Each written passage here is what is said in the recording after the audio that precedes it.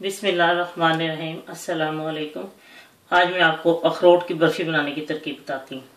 इसके लिए जिन चीज़ों की ज़रूरत है, उसके लिए मिल्क पाउडर, एक कप, अंडे दो अदर इलायची दाना जो है वो चंद दाने ले लें दो तीन इलायची को खोल के उसके दाने निकाल लें। अखरोट क्रश, आधा कप कंडेंस मिल्क एक कप, घी तो दो चमचे टेबल स्पून और ये गार्निश के लिए जो है उसको सजाने के लिए रंग वाला नारियल। अब मैं आपको, अब मैं आपको बताती हूँ कि ये किस तरह तैयार करनी है। नहायत आसान है। पहले एक ट्रे को ग्रीस करके रख लें, जिसमें आपने इसको बिछाना है और इसको जमाना है। ठीक है, मैं अब आपको बताती हूँ। ये मैं अब इसमें डालूँगी घी। अब मक्खन डालना चाहते हो तो मक्खन डालें घी डालना चाहते हैं, घी डालें। जो आपका दिल मैंने तो घी डाला है। ये ज़रा गर्म हो ले और इसके बाद मैं आपको बताती हूँ कि इसको इलायची दाने को डाल के थोड़ा सा कड़कड़ाना है।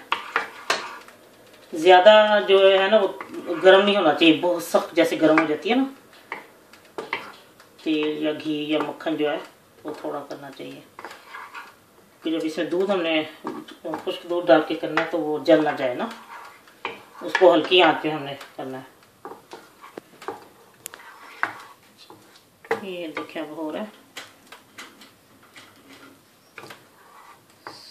जैसे घी पिघल जाए और वो दाना थोड़ा सा हो जाए ना तो उसके बाद इसमें मैं खुश्क दूध डाल के भूनूँगी हल्की आँच पे अगर आप तेज़ पे भूनेंगी तो दूध जल जाएगा खुश्क दूध होता है ना मिल्क पाउडर वो जल जाएगा तो वो बर्फ़ी का जायका जो है ना वो ख़राब हो जाएगा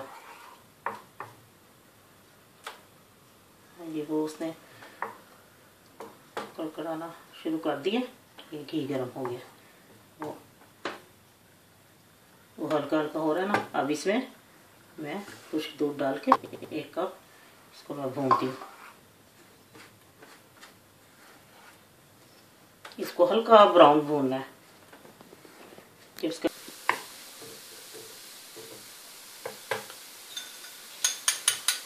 ये हो गया हल्का ब्राउन और अंडों को मैंने पहले फेंट किया था ये दो दर डंडे हैं और अब मैं इसमें अंडे डालूँगी। अंडे डाल के इसको भूनना है, बहुत अच्छी तरह। ये।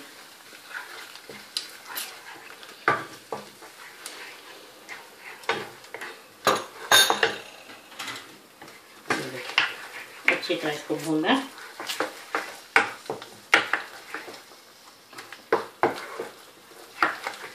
ये अच्छी तरह जब हो जाए मिक्स सब कुछ।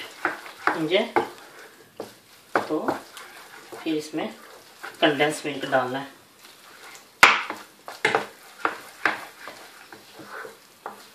ये ये।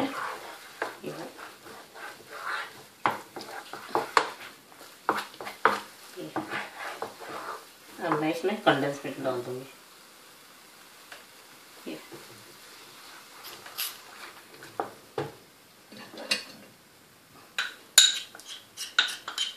ये पूरा एक कप है। एक कप ही दूध ड्राई फ्रूट जो ड्राई मिल्क जो होता है वो वाला और एक कप ही कंडेंस मिल्क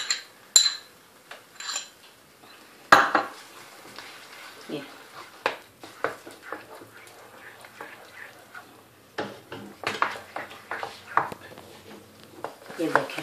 अब घी छोड़ा है और आपने मुसलसल इसको चमचे हिलाते रहना है। इस बात का ख्याल रखें।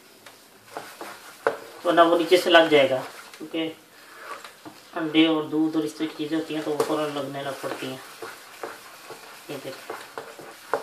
जब आप इसको बनाएँगे तो आपको पता लगे कितनी मज़ेदार ये अखरोट की बर्फ़ी है।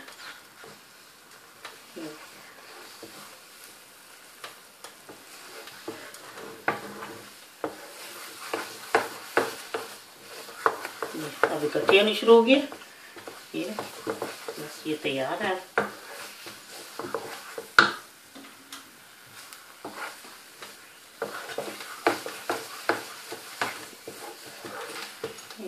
और अब इस पेज पे इसमें अखरोट डाल देने। ये जो क्रश अखरोट था वो इसको डाल डाल देने।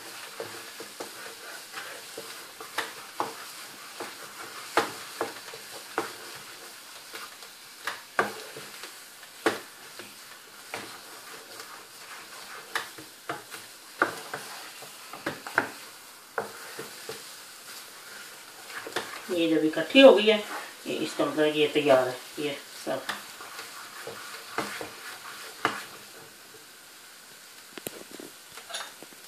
लीजिए ये बर्फ़ी तैयार है। अब मैं आपको डिश आउट करके दिखाती हूँ। लीजिए अखरोट की बर्फ़ी तैयार है। बस इसको फिर डिश आउट करके 10-15 मिनट इसको ना पंद्रह मिनट के लिए ठंडी जगह पे जैसे हवादार जगह होती है ना, वहाँ रख दे जहाँ से हवा आती है। ये फिर खुश्क हो जाएगी, इसके पीस काट लें और इसको खूबसूरत से डिश में सजा के खाने के लिए पेश करें। ये आपको बहुत पसंद आएगी, ट्राई ज़रूर करें। अल्लाह हाफिज़।